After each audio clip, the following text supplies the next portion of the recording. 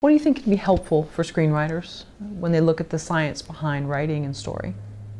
I think it's profoundly helpful for a screenwriter to recognize the physiological processes that their audience is experiencing, to have at least a minimal understanding of the visual and the auditory information is being received the same by everybody's eyes and ears work the same way.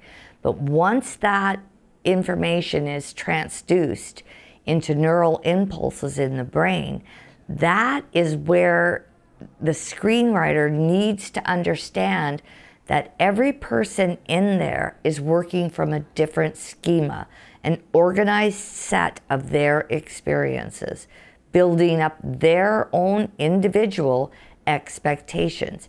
Here is where the screenwriter can capitalize on general experiences. So, in this day and age, almost everybody has seen a movie or has watched video clips.